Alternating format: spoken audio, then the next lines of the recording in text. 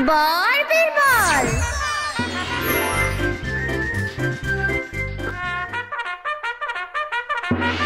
দিল্লির বৎসর বরের জয় হোক দিল্লির বৎসর বরের জয় হোক দিল্লির বৎসর বরের জয় হোক বাবা বাবা বাবা বাবা বাবা বাবা বাবা সকাল সকাল এমন সাজানো গোছানো রাজসভা দেখে কারই না ভালো লাগে। আমার এমন রত্ন খচিত রাজসভা দেখলেই যেন প্রাণটা জুড়িয়ে যায়। তোমার কি মত বীরবল? আগে জাহাপানা ঠিকই তো। এমন রত্ন ভান্ডার আর কোন নবাবের রাজসভায় আছে? সারা বিশ্ব খুঁজলে এর জুড়ি মেলা ভার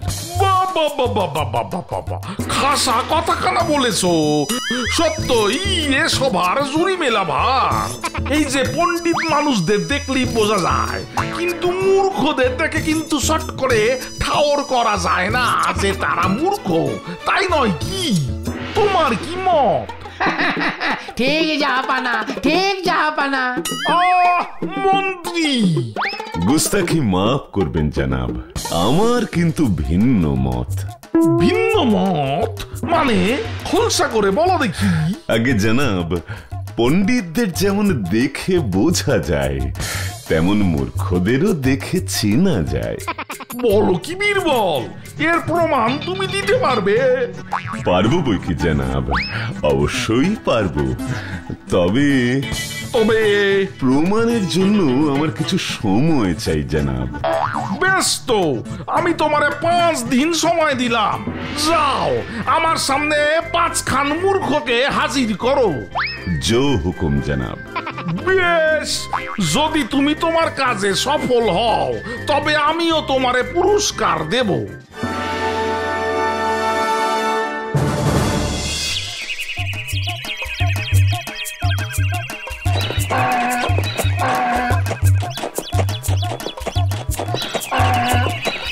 আরে আরে, এ আমি কি দেখছি? এ তো এক মজার ব্যাপার। ও ভায়া বলি ও ভায়া। কি হে ভায়া মাঝপথে ডেকে ডুকে আমার আবার দেরি করে দাও কেন? বলি তোমার গাধার পিঠে মালের বোঝাখানা না রেখে নিজে চড়ে বসেছ কেন? ঠিক বুঝেছি তোমার মতো বোকা আর একটিও নেই। আরে বাবা এত বড় বোঝা যদি আমার এই ছোট্ট গাধার পিঠে চাপাই, তবে তার বুঝি কষ্ট হবে না। তাই আমি গাধার কষ্ট কমাতে নিজেই ওই বোঝা টানছি। এবার বোঝা গেল তো? খুব বোঝা গেল। তোমায় যতটা বোকা ভেবেছিলাম, তুমি দেখছি তার থেকেও বেশি বোকা।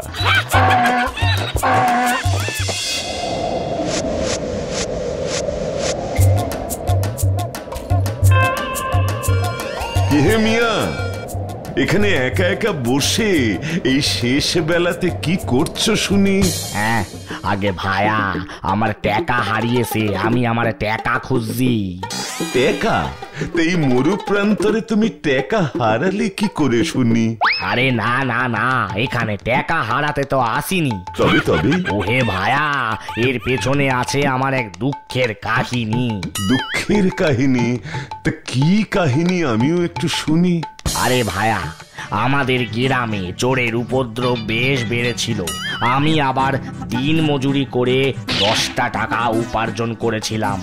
আমি তো ওই দশটা টাকা চোরের হাত থেকে বাঁচাতে এইখানে ঠিক এইখানেই বালির নিচে লুকিয়ে ফেললাম।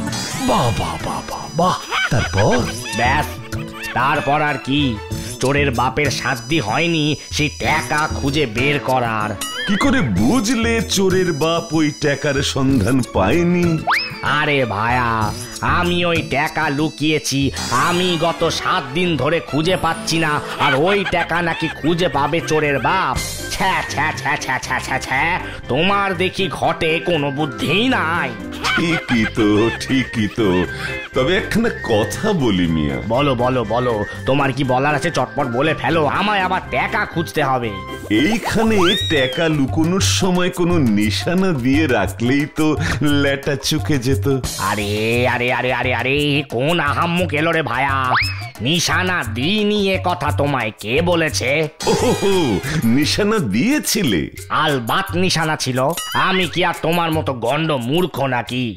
এই রফিক মিয়া এত কাঁচা কাজ করে না বুঝলে? কি নিশানা দিয়েছিলে মিয়া? কি আবার? আমি যখন এইখানে আমার দশটা টাকা লুকোতে এসেছিলাম দেখি দেখি ঠিক এইখানে হ্যাঁ ঠিক এইখানেই একখানা ছাই রঙের গাধা চড়ে বেড়াচ্ছে। ব্যাস হয়ে গেল নিশানা। আবার কি? একেবারে জল জ্যান্ত নিশানা। চলে ফিরে বেড়াতে পারে। সত্যি তো ঠিক কথা। বুঝেছি বুঝেছি। তোমার বুদ্ধির জোর আমার জানা হয়ে গেছে। আমি এবার আসি। তুমি বরং মন দিয়ে তোমার দশটা টাকার খোঁজ করো কেমন? হ্যাঁ হ্যাঁ এসো এসো এসো। দেখো দেখি, গপ্প করে আমার কতখানি সময় নষ্ট করে দিল। আমাকে আবার টাকা খুঁজতে হবে। আরে কে কোথায় আসো গো? আমার টেনে তোলো গো। আরে বাবা, আমি যে কাদায় পড়ে গেছি এসেই বরকতালিকে তোলো গো। কি হয়েছে আলী ভাই? আরে এসো এসো এসো। ওঠো ওঠো ওঠো ওঠো। আরে আরে, করো কি করো কি? তফাৎ যাও তফাৎ যাও। কেন গো? কি হলো আবার? খবরদার খবরদার আমার হাত ধরবে না ভায়া। হাত ধরবো না? তাহলে তোমাকে তুলবো কেমন ভাবে আরে এই যে দেখছি একেবারে মাথা মোটা গোবর পোড়ালো। সে কি গো? এতে আমার মাথা মোটার কি দেখলে? বলি আমার মাথা কি ছাগলে মুড়িয়ে দিয়েছে নাকি? বালাই শার্ট বালাই শার্ট ছাগলে মোড়াবে কেন?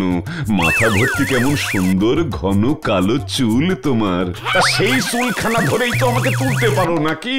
হ্যাঁ হ্যাঁ হ্যাঁ, তা বটে তা বটে। এবার তুমি বলো তো, আলী ভাই, কেন তুমি হাত দুটো ধরতে দিলে না তোমার? আর কদিন পর আমার মেয়ের শাদি হবে। আর তুমি তো জানো, মেয়ের পোশাক যে বর সব রাখার জন্য একটা সিন্দুক লাগে, সুতোর মিয়া।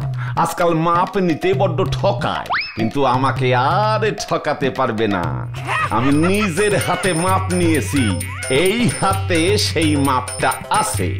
তাই তো তোমাকে হাত ধরতে মানা করলাম। পাশে মাপের গোলমাল হয়ে যায়। ও হো এইবার বুঝেছি তোমার বুদ্ধির বহর।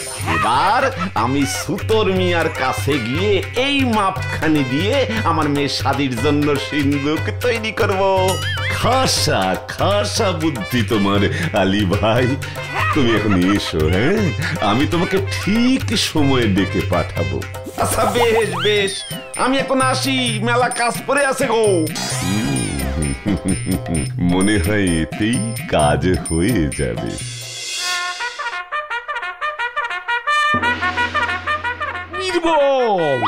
কারা আগে এ হলো রহিম ধোপা গাধার কষ্ট হবে বলে বিশাল মালের বোঝা নিজের ঘাড়ে চাপিয়ে নিজে গাধার উপর বসে যাতায়াত করে।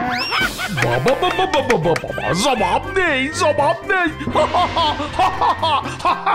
বাইরের মহল থেকে তুমি ইনাম নিয়ে নাও ধোপা জি হজুর। জনাব ইনি হলেন রফিক মিয়া। ইনি নিজের উপার্জনের দশ টাকা চোরের হাত থেকে বাঁচানোর জন্য মরু প্রান্তরে গিয়ে বালির মধ্যে লুকিয়ে রেখেছিলেন। আমাদের গ্রামে চোরের উপদ্রব বেশ বেড়েছিল। আমি আবার দিন মজুরি করে দশটা টাকা উপার্জন করেছিলাম। আমি তো ওই দশটা টাকা চোরের হাত থেকে বাঁচাতে এইখানে, ঠিক এইখানেই বালির নিচে লুকিয়ে ফেললাম। আর তখন সেখান থেকে একজন গাধা চড়ে যাচ্ছিল তাকেই চিহ্ন হিসেবে মনে রেখে দিয়েছেন। বাবা বাবা বাবা বাবা এ যে এক্সেবর কারেক তুমি মিয়া বাইরের মহল থেকে নাম নিয়ে চলে যাও। আর এই হলো বরকত আলী। নিজের মেয়ের শাদির জন্য সিন্দুক বানাবে। নিজের হাতে তার মাপ নিয়েছে। মেয়ের পোশাক যে বর সব রাখার জন্য একটা সিন্দুক লাগে। সুতর মিয়া। আজকাল মাপ নিতে বড্ড ঠকায়। কিন্তু আমাকে আর ঠকাতে পারবে না। এই হাতে সেই মাপটা আছে। তাই কাদায় পড়েও সেই মাপটা হাতে ধরে রেখেছে। ওইভাবেই গিয়ে ছুতোর ভায়াকে মাপ দেবে। পাছে ছুতোর ভায়া তাকে মাপে ঠকিয়ে দেয়। কি আবাদ কি আবাদ কি আবাদ। তুমিও, আলী ভাই, বাইরের মহল থেকে ইনাম নিয়ে নিও। জি হুজুর। কিন্তু আর তো কাউকে দেখছি না বীরবল। তোমার তো পাঁচজনকে নিয়ে আসার কথা ছিল। জাহাপানা আমি গত দুদিন ধরে মূর্খ খুঁজে মূর্খামি করেছি। অতএব অতএব আমিও একটি মূর্খ। তাহলে তো চারজন হলো শেষ জন কোথায়? আগে হুজুর দুদিনে ধরে রাজকার্যের ক্ষতি করে আমাকে মূর্খ খুঁজতে পাঠিয়ে আপনিও তো মূর্খের মতোই কাজ করেছেন তাই নয় কি।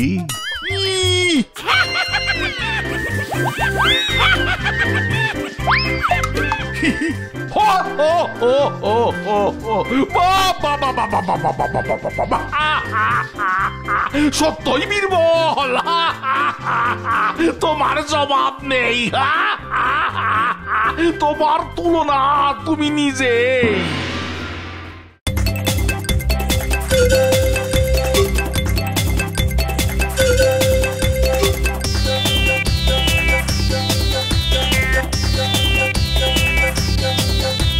গল্পটা বহুত আচ্ছা। এক ছিল আকবর বাদশাহ সঙ্গে, কে ছিল বল? বুদ্ধিমান সে যে বীরবল, গল্পটা বহুত আচ্ছা। এক ছিল আকবর বাদশাহ সঙ্গে, কে ছিল বল? বুদ্ধিমান সে যে বীরবল, আকবর বীরবল বীরবল আকবর আকবর বীরবল বীরবল আকবর। বীরবল বীরবল আকবর আকবর বীরবল বীরবল আকবর। বীরবল দারুণ বুদ্ধিমান বুদ্ধিমাত্রা সহস্র সমাধান করে ফেলে জটিল সব রহস্য। মন্ত্রী মশাই সব সময় মেনে যায় হার। এসব নিয়ে দারুণ গল্প জমে মজাদার। এসব নিয়ে দারুণ গল্প জমে মজাদার। আকবর বীরবল বীরবল আকবর আকবর বীরবল বীরবল আকবর আকবর। বীরবল। বীরবল? আকবর। আকবর বীরবল বীরবল আকবর আকবর বীরবল বীরবল আকবর। ট্যাট ট্যাট টুক ট্যাট ট্যাট টুক ট্যাট